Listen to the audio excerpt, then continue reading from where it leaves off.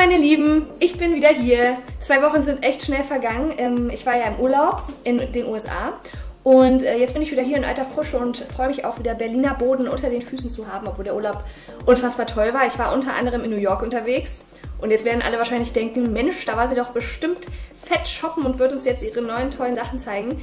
Ähm, nein, war ich nicht. Und ich war auch ganz bewusst nicht einkaufen. Und zwar, vielleicht erinnert ihr euch noch an mein letztes Video. Dort habe ich ja meinen Koffer gepackt und ähm, meine ganzen Klamotten mal durchgezählt. Einerseits die, die ich im Koffer habe, äh, hatte, andererseits aber auch die, die noch in meinem Schrank lagen. Und äh, bin sage und schreibe auf, ich weiß es schon gar nicht mehr, 250, 280 Teile oder so gekommen. Ähm, ohne Schuhe etc. Und äh, das hat mich schon ganz schön nachdenklich gemacht und ähm, ja, so ein bisschen erschrocken.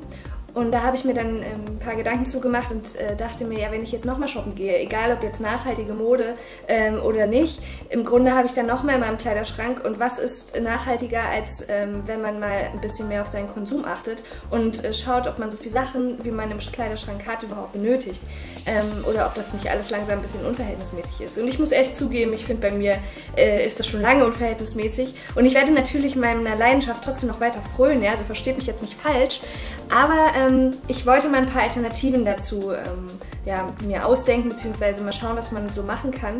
Und da habe ich mal im Internet nachgeschaut und habe verschiedene Online-Plattformen gefunden, wo ähm, Mädels ihre Sachen zum Tauschen anbieten oder auch zum Verkauf. Und ähm, ich fand das Tauschmodell ja besonders toll, gerade für mich, weil ich ja meinen Kleiderschrank ein bisschen leeren möchte, beziehungsweise wenigstens nicht noch mehr hinzukommen soll. Und ähm, bevor ich die Sachen wegschmeiße, ist es natürlich eine super Möglichkeit, die zu tauschen gegen etwas, was ich ähm, auch schön finde, was aber nicht neu ist. Und da gibt es ganz unterschiedliche Plattformen im Internet, wo man seine Sachen tauschen kann. Ähm, die wohl bekannteste ist kleiderkreisel.de. Viele von euch kennen das wahrscheinlich schon. Ich kannte das auch, aber ich bin halt nie auf die Idee gekommen, das für mich zu nutzen. Ähm, aber diese, diese Tauschvariante ist einfach super, weil man seinen Kleiderschrank nicht unnötig noch mehr füllt, ähm, sondern Sachen, die man im Schrank hängen hat und die einem vielleicht nicht passen oder die man schon so oft anhatte und, äh, oder die einem aus irgendwelchen anderen Gründen nicht mehr gefallen, die muss man nicht gleich wegschmeißen, sondern ähm, die Sachen sind ja trotzdem noch was wert und viele andere freuen sich drüber. Also kann man die gegen etwas tauschen, was man selber toll findet und ähm, sich so gegenseitig helfen und seinen Kleiderschrank äh, ganz neu bestücken und ähm, neue Sachen haben, die aber nicht neu sind. Ähm, genau, das habe ich gemacht. Und unter anderem habe ich eine tolle Bermuda-Shorts mir ertauscht und die habe ich auch schon an. Die zeige ich euch jetzt mal. Bei diesem Modell, ich hoffe, das kann man ganz gut erkennen, die ist ein bisschen zerknittert, da schaut mein Haupt hier nochmal nochmal bügeln. Ähm, bei diesem Modell ist besonders schön, dass es auch Vintage ist. Also das ist wirklich äh, aus den 70ern oder was. Das ist von der, von der Firma Ingrid, keine Ahnung, noch nie gehört. Aber ähm, es soll von ihrer Mutter sein, ähm, hat, die, hat das Mädel geschrieben, ähm, mit der ich getauscht habe. Und ähm, ja, die Hose passt perfekt. Also die sitzt sehr weit oben, ne? die sitzt so auf der Taille. Soll ja auch so sein. Ich finde das zu so einem lockeren Tanktop besonders schön. Mit einer Kette, bumm, fertig aus ist das, ist das äh, Outfit. Eigentlich, noch, eigentlich fehlt noch so ein brauner Gürtel, den muss ich mir noch besorgen. Vielleicht finde ich ja sowas bei Kleiderkreisel auch. Ansonsten macht die Hose echt super schlank und ist total bequem. Und ähm, ja, gerade jetzt für den Sommer ist sie natürlich super. Ne? Also die geht so ein bisschen bis übers Knie. Äh, übers Knie? Nee, also die hört vor dem Knie auf. Und ähm, genau, also die finde ich Ganz, ganz toll, war ich sehr begeistert. Ich habe die gegen einen, einen, äh, Rock getauscht, den ich mir mal gekauft habe von einiger Zeit. Einen roten Minirock und ähm, den hatte ich so selten an, dass ich äh, ja, dachte, na gut, dann kann man den ja auch mal tauschen und das Mädel ist auch ganz glücklich mit dem Rock und ähm, ja, wir hatten echt sehr netten E-Mail-Verkehr und es war total witzig, hat echt Spaß gemacht und ähm, man, lernt, man lernt auch mal nette Leute kennen und äh, genau, also ich war total begeistert, als ich die Hose gefunden habe. Außerdem habe ich mir noch äh, diese Schnürboots hier ertauscht, ähm, auch bei Kleiderkreisel. Und ähm, wie man sieht, sind die schon ein bisschen abgenutzt, aber das finde ich bei ähm, Lederstiefeln eigentlich immer ganz charmant. Und ich kann es kaum erwarten, dass endlich Herbst wird und ich diese tollen Boots anziehen kann. Die habe ich auch getauscht gegen ähm, ähnliche Stiefel, allerdings in hellbraun. Und ähm, das war so ein Braun, was ich nicht so gerne mochte und die habe ich selten getragen. Deswegen war das super, die gegen diese, ähm, diese super schönen Teile zu ertauschen oder zu tauschen. Und zu guter Letzt für die Party Night habe ich mir noch ähm, folgendes kleines Teilchen geholt, auch bei Kleiderkreisel, aber den habe ich gekauft. Ähm, genau, ist halt so ein Paillettenröckchen Und ähm, das Besondere an diesem Rock ist, dass ähm, die, die mir den verkauft hat, für sage und schreibe 4 Euro, ähm, hat den selber genäht. Und das fand ich super und deswegen habe ich ihr den abgekauft. Den will ich euch jetzt natürlich auch noch präsentieren und ihn anprobieren. Ähm, während ich mich umziehe, habe ich etwas ganz Besonderes für euch, nämlich ähm, ein anderes Video. Und zwar war ich unterwegs in einem Veränderungsatelier. Man muss nämlich seine Sachen nicht nur tauschen, wenn einem sie nicht mehr gefallen, sondern man kann sie auch äh, umgestalten lassen. Upcycling nennt man das heutzutage. Und da gibt es einen äh, ganz süßen Laden in Berlin-Mitte, der nennt sich Bis es mir vom Leib fällt. Und ähm, da kann man seine Sachen einfach hinbringen und sie upcyclen lassen äh, nach den eigenen Wünschen. Und das wollte ich mir mal genauer anschauen und ähm, genau, schaut euch das Video einfach mal an.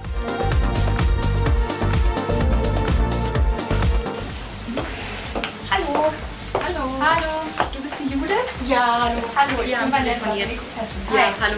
Ähm, ja, schönes Atelier habt ihr hier. Dankeschön. Erzähl doch mal, was macht ihr hier genau? Was kann man hier machen lassen? Also wir verändern ähm, Kleidungsstücke, wir upcyclen die, wir ähm, vereinzigartigen die, gestalten die um, reparieren die, wir machen alles quer durch die Bank. Upcycling ist ein gutes Stichwort. Was genau bedeutet das denn? Also upcyclen ähm, wird hergeleitet von dem Recycling. Recycling ist wahrscheinlich allen bekannt, also es werden Sachen wiederverwertet.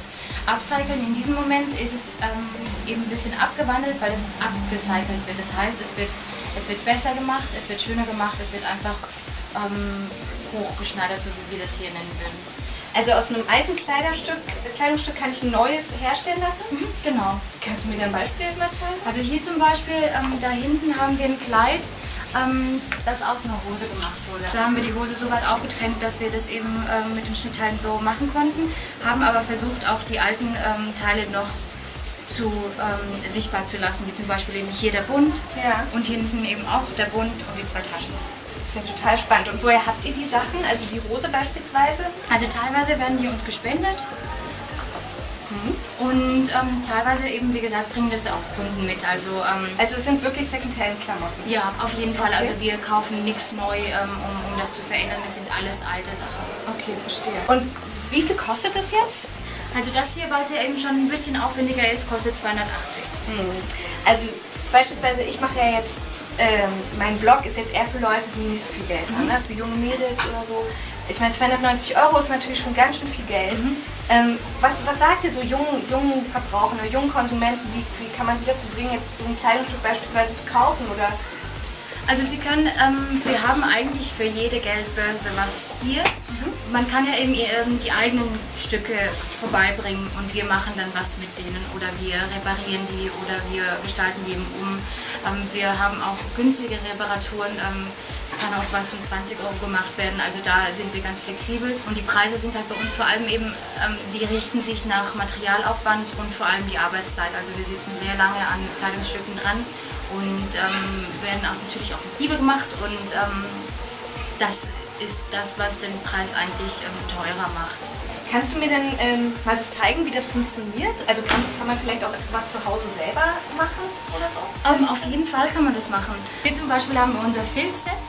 Ähm, weil es manchmal so ist, dass in Wollpullis Löcher drin sind oder dass die Motten da ein bisschen gefräßig waren und Dann würde man die ja wir- wegschmeißen. Ich Genau, jedenfalls. Genau. Und deshalb möchten wir das eben verhindern und da kann man dann selbst eben kreativ das verändern, Mhm. indem man das befilzt. Wir haben deshalb eben hier auch so ein Filzset ähm, zusammengestellt.